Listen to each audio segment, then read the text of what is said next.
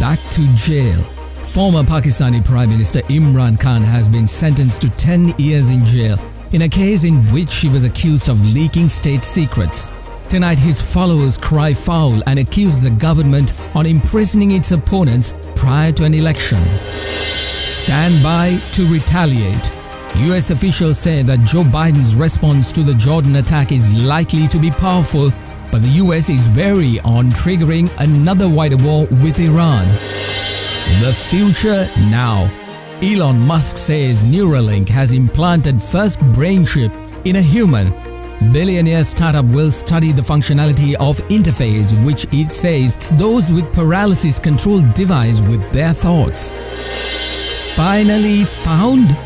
An explorer in the Pacific Ocean says he finally solved the mystery of the century. All that and more as World News Tonight starts right now.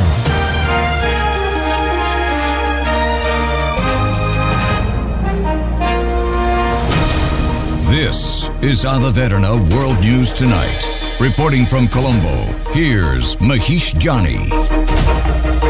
Very good evening to all. Thank you very much for taking the time to join us uh, right here on Ada Derana 24's World News Tonight. Well, we want to take you straight to Pakistan, where former Pakistani Prime Minister Imran Khan has been sentenced to jail. That story is breaking tonight. Well, Pakistan's former leader Imran Khan has been sentenced to 10 years in prison for leaking state secrets. The hearing took place today in a closed courtroom established under the Official Secrets Act in Rawalpindi's Adiala jail, where Khan and former Foreign Minister Shah Mahmood Qureshi are already incarcerated on corruption convictions.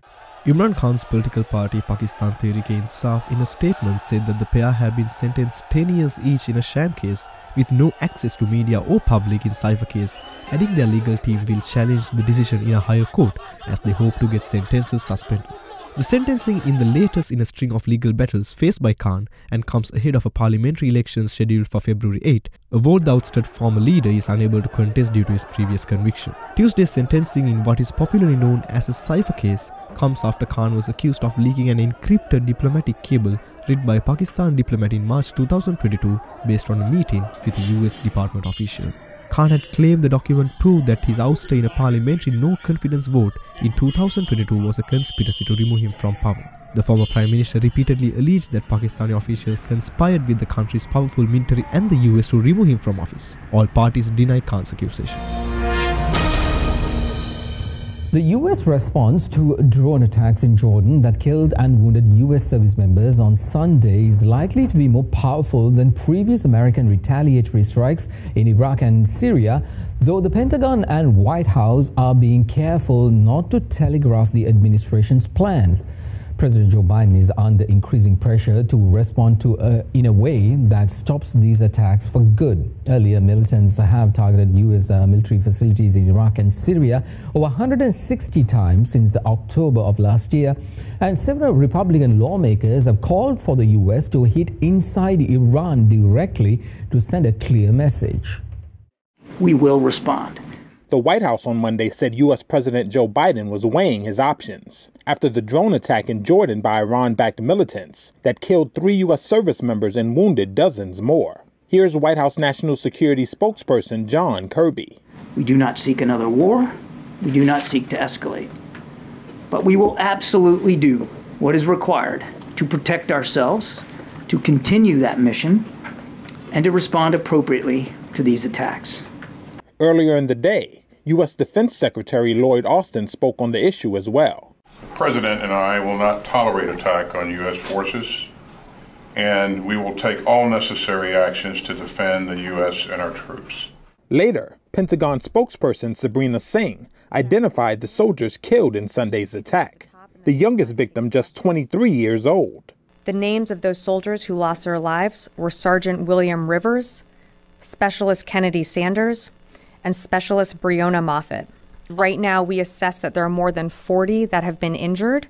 Um, we do expect that number to continue to fluctuate as uh, our service members, as you know, with TBI, report symptoms later on, so that number could continue to grow. The attack put new political pressure on Biden to deal a blow directly against Iran, a step he has been reluctant to take out of fear of igniting a broader war. Sunday's strike marks the first deadly attack against U.S. troops since the Israel Hamas war erupted in October. The United States is trying to determine how the suicide drone managed to evade the base's defenses. U.S. troops have been attacked over 150 times in Iraq, Syria, and Jordan, as well as on warships in the Red Sea, where Houthi fighters in Yemen have been firing drones and missiles at them.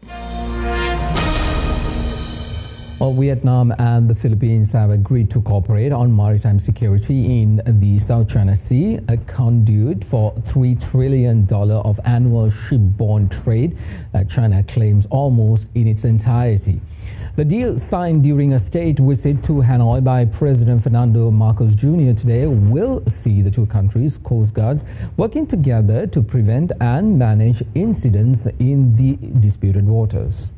Vietnam and the Philippines agreed today to boost cooperation among their coast guards and to prevent untoward incidents in the South China Sea in an announcement during a state visit to Hanoi by the President Ferdinand Marcos Jr. Marcos received a welcoming ceremony before attending meetings with the Vietnam's president and prime minister separately.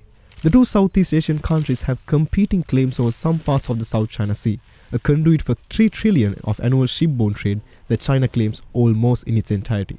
The two memoranda of understanding on security covered incident prevention in South China Sea and maritime cooperation among coast guards, according to a Vietnamese official who announced the deals during a formal ceremony in the country's presidential palace. The agreements in Hanoi, details of which were not disclosed, could risk angering Beijing, especially if they pave the way for future compromises on disputed claims. China tends to view progress in the resolution of the border disputes among other claimants with skepticism. Well, it's not only in Sri Lanka, but even in South Korea. The new online platform bill debated in the Korean parliament seems to have rattled international activist groups. Following President Yoon's calls for measures to prevent monopoly in the online platform market and promote a healthy competition, the country's antitrust regulator is uh, due to propose a bill to meet these goals. A bill to regulate market domination by online platforms has sparked debate among domestic and global businesses in the tech industry. The Online Platform Fairness Act is currently being drafted by South Korea's Fair Trade Commission, with a bill set to be announced sometime next month. The FTC aims to prohibit unfair business practices and ease consumer burdens by restricting market leaders from keeping competition in check. This in turn could provide more opportunities for small and medium-sized businesses and startups to enter the market. While the full details of the bill have yet to be revealed, the FTC has said that it would crack down on platforms that are engaging in monopolistic practices, citing Google's policies preventing game publishers from releasing their titles outside of Google's Play Store. It also cited domestic tech giant Kakao's manipulation of its algorithm to favor its own cab drivers above others on its Kakao mobility apps. The regulator has said that it will define market leaders by setting a quantitative standard such as for sales and the number of users, similarly to how the EU qualifies a large online platform as a gatekeeper in its Digital Markets Act. But domestic startup firms were found to have concerns in a survey conducted by Startup Alliance Korea, with many saying that startups that are not profitable but have a large number of users face being regulated, which could hinder growth. In response to growing concerns from the tech industry, the government says it will limit the number of companies it defines as a market leader to four or five firms. These are most likely to be domestic tech companies Naver and Kakao, as well as global firms such as Google and Apple.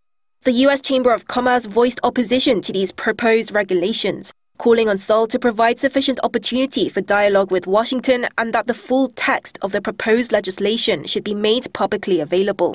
It's expected that it will take more than a year to implement the law even after the disclosure of the bill, considering the time it takes for the bill to pass through the National Assembly and subsequent subordinate laws to be enacted. Well, French farmers are going on strike. Why? That story and the details coming right after this break. You're watching World News Tonight.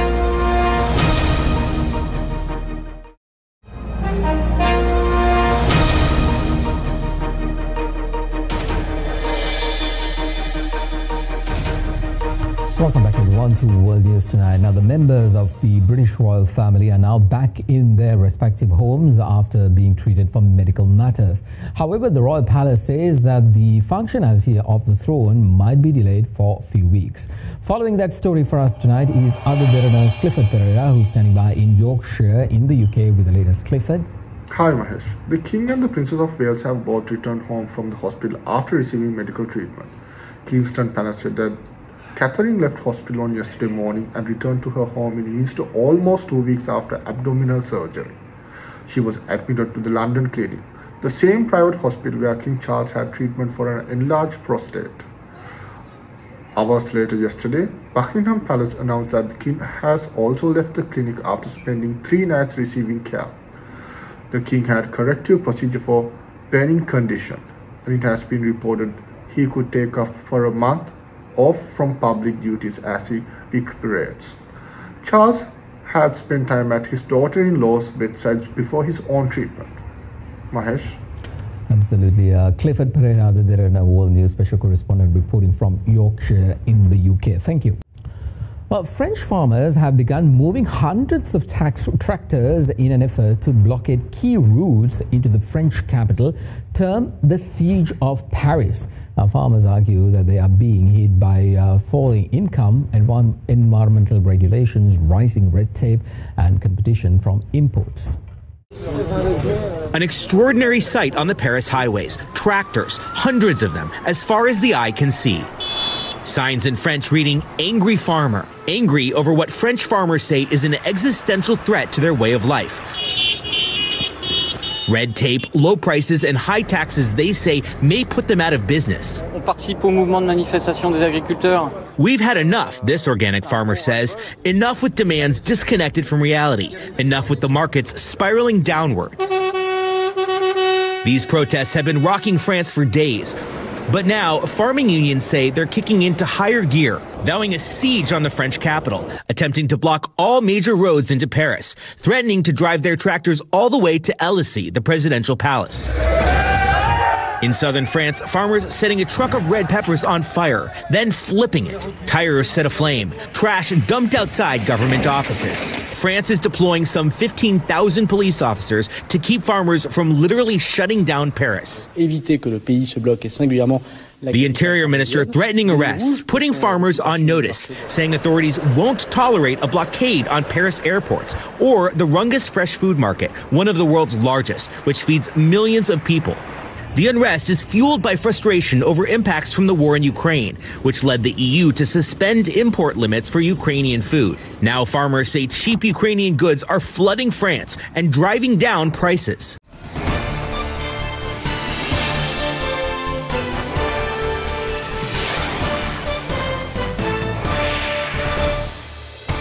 Well, Nikki Haley was targeted by a second swatting attempt just two days after authorities responded to a similar call regarding Haley, as per reports by Reuters. Following that story for us tonight is other journalist Suzanne Shanali standing by in Toronto, Canada with the latest. Shanali? Yes, Mahesh, Charleston County Sheriff's deputy responded on the 1st of January to Haley's home after a person who identified themselves as Rose called 911 claiming that Haley's daughter was lying in a pool of blood and Haley was threatening to shoot herself. The caller claimed to be on the phone with Haley, and uh, the deputy spoke to an unidentified woman at the front door who matched Haley's description and quickly concluded the call was a hoax. The January 1st swatting attempt had not been previously reported, but Haley alluded that the incident during NBC's Meet the Press program on last Sunday. Although Haley didn't provide a date for the incident or share details of what happened, but added that it had happened twice already. Mahesh. Absolutely, uh, Suzanne Shanali, a World News special correspondent reporting from Toronto in Canada. Thank you for that.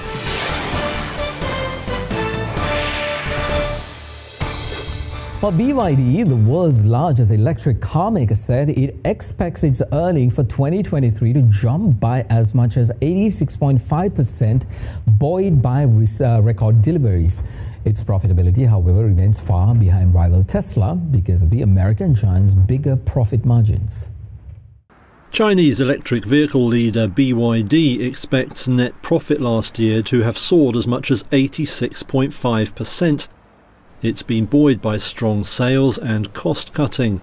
The firm also credited a rapid rise in overseas sales and growing advantages from its sheer size. BYD overtook Tesla in the final quarter of last year to become the biggest maker of EVs. The company handed over more than half a million vehicles during the period. Now it says scale is helping it to control costs in the supply chain. In a filing to the Shenzhen Stock Exchange, BYD said all that would drive profits up to as much as $4.3 billion. If confirmed, the latest profit jump would see it far outpace Tesla, which posted a 19.4% growth in net profit. Dramatic as they are, though, the figures would actually mark a slowdown for BYD. In 2022, its profits surged by a blistering 446%. Now the firm is pressing ahead with ambitious overseas growth plans that have rivals worried. Earlier this month, Tesla boss Elon Musk warned that Chinese car makers like BYD would demolish global rivals if trade barriers aren't erected. Now, the US based United Airlines has reportedly initiated discussions with Airbus to acquire additional A321neo aircraft in a bid to uh, mitigate the anticipated disruptions due to potential delays in Boeing 737 MAX 10 deliveries. United CEO Scott Kirby has reportedly traveled to Toulouse in France to discuss the deal following the Alaska Airlines mid air emergency. United Airlines has been one of the biggest victims of the turmoil at Boeing. Dozens of its 737 MAX 9 jets were grounded following the mid-air blowout of a large panel on one operated by Alaska Airlines. Now United also faces delays in getting new planes after the incident raised doubts over regulatory approval for a new model of the MAX, for which it has placed big orders. The chaos has the airline considering its options sources say Chief Executive Scott Kirby flew to France for talks with Airbus. He's said to be sounding out the possibility of an order for its A321neo jets. Trouble is, they're in hot demand and all but sold out for years to come. However, Bloomberg News says Airbus is trying to buy back delivery slots from other airlines in a bid to construct a viable offer. United has 277 Boeing MAX 10 jets on order. That's a larger variant than the one in the blowout drama, but could still be affected by the troubles at Boeing. Kirby said last week that United hadn't cancelled the order, but he added that the US plane maker wouldn't be able to meet the contracted delivery dates on many of the aircraft. Signs of a possible Airbus deal have reportedly raised concern at Boeing, which shares historical roots with United. But Monday later brought hope of a silver lining. Irish budget airline Ryanair, one of Boeing's biggest customers, said it would take over any MAX 10 orders dropped by US carriers. A woman in Australia survives a shark attack. That story right after this break.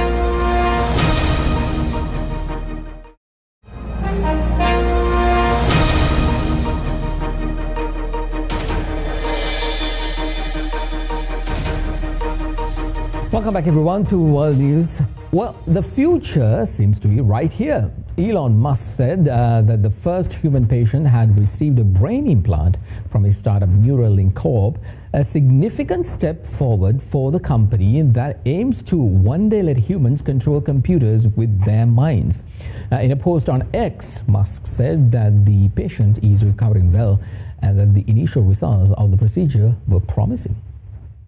Elon Musk says his Neuralink brain chip startup has put an implant in a human patient for the first time. Musk said Sunday that the patient is recovering well and that, quote, initial results show promising neuron spike detection.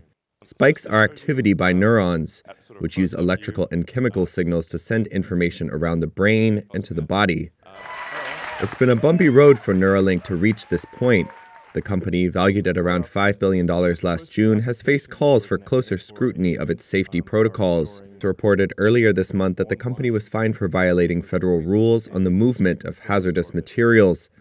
Last November, lawmakers requested an investigation into whether Musk had misled investors about the safety of its technology after veterinary records showed problems with implants on monkeys, including paralysis, seizures, and brain swelling. The U.S. Food and Drug Administration cleared the company to conduct its first human trial last year. Neuralink says the study uses a robot to surgically place a chip in a part of the brain that controls the intention to move, and that their initial goal is to enable people to control a computer cursor or keyboard with their thoughts alone. Musk said on X that Neuralink's first product would be called telepathy, and that, quote, initial users will be those who have lost the use of their limbs. Musk has said its chips could one day be used to treat conditions like obesity, autism, depression, and schizophrenia. Neuralink did not immediately respond to a request for further details. Now, a 29 year old Australian woman is recovering in hospital tonight after a near death encounter with a bull shark in the Sydney harbour. There are fresh warnings about the dangers of lurking, uh, lurking in Sydney waterways after this bull shark attack. Lauren O'Neill, surrounded by emergency responders, intensive care unit paramedics and police, overseeing her dash to St Vincent's Hospital in an ambulance. But it was her neighbours she left behind who really saved her life after her encounter with the bull shark. Lauren's social media posts reveal her passion for the water and the harbour. She lives on it at Elizabeth Bay and works for the Environment Minister. But yesterday, a swim at dusk outside her private pool so nearly proved fatal. Residents sounded the warning after realising the 29 year old was in trouble. Witnesses rushed to the jetty, including Fiona Crago, who's a vet. She was severely mauled on her right leg and she was losing a lot of blood. I just focused on what I had to do, which was to stem the blood flow and bandage the leg. Throughout her ordeal, Lauren was conscious and thanking everyone for helping her and calling triple zero. An examination of her bite wounds confirmed a bull shark was responsible. As terrifying as this bull shark attack must have been, they are very rare. In 1963, a woman was fatally mauled in Middle Harbour. The next incident was in 2009, a Navy diver losing an arm and a leg in an encounter 850 metres from here in Woolloomooloo Bay. Well, the disappearance of Amelia Earhart's plane over the Pacific Ocean in 1937 is one of the world's enduring mysteries. Now, a pilot uh, and an explorer says that he believes he found the plane halfway between Hawaii and, and Australia. She was a pioneering pilot, the first person to fly solo from Hawaii to the mainland U.S., and also the subject of one of the world's greatest mysteries. I hope to accomplish something really scientifically worthwhile for aviation. Amelia Earhart disappeared trying to circumnavigate the globe in 1937. Earhart and her twin engine aircraft never to be found, unless this sonar image is the key to changing that. Well, you'd be hard pressed to convince me that's anything but an aircraft, for one, and uh, two, that it's not Amelia's aircraft. That's pilot and real estate investor Tony Romeo, who set out on a 100 day deep sea expedition last year near Howland Island, where Earhart was heading to refuel. Romeo's company, Deep Sea Vision, used multi million dollar sonar technology to capture this image 16,000 feet down, even deeper than the Titanic. There's no other known crashes in the area, um, and certainly not of that era um, and that kind of design with the tail that you see clearly in the image.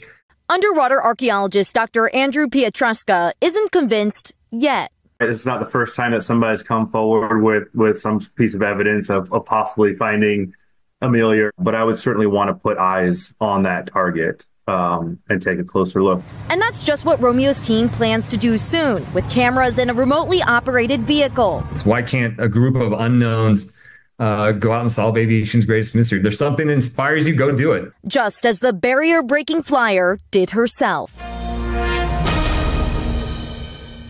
Well, for 87 years, there was so much of theories as to what happened to her plane. If they have actually found this plane uh, in the Pacific Ocean, that means, well, all those theories of she landing in one of the islands, well, they are not true. She went down in the, uh, into the ocean. Well, that is a part of your world tonight. Thank you very much for joining us. We'll be back again tomorrow at the same time with another edition of the World News. See you then. Bye for now.